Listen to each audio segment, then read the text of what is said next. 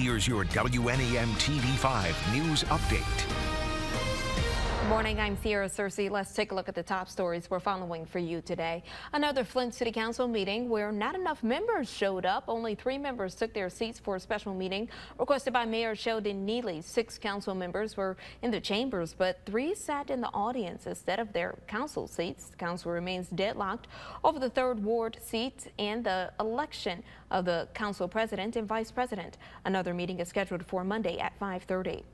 Just a few more than 100 illegal guns off the streets in Flint. Genesee County Sheriff Chris Swanson praising the work of Anti-Crime Initiative Operation Arrowhead on Wednesday, a partnership between local and state law enforcement agencies and the Mott Foundation. Swanson says in two years, Operation Arrowhead has led to more than 1,600 felony arrests, more than 3,100 uh, misdemeanor arrests, removed 115 guns, and responded to nearly 13,000 911 calls.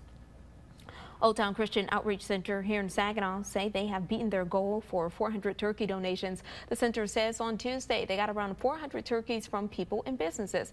If you or someone you know is in need of a turkey for your holiday meal, you can stop by the Old Town Soup Kitchen Saturday morning at 10. Here's Diane with a look at your first alert forecast.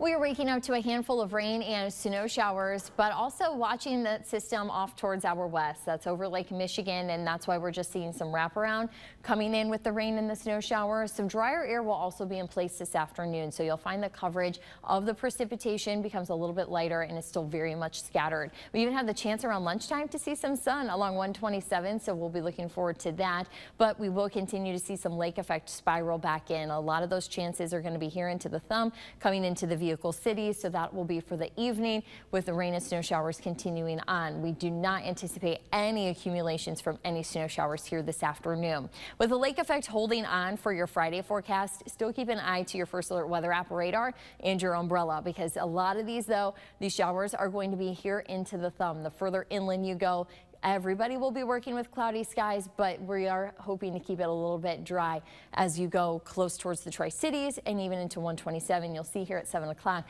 not a lot of rainfall here in Saginaw, which is perfect timing because we have the tree lighting, the fireworks on Friday evening.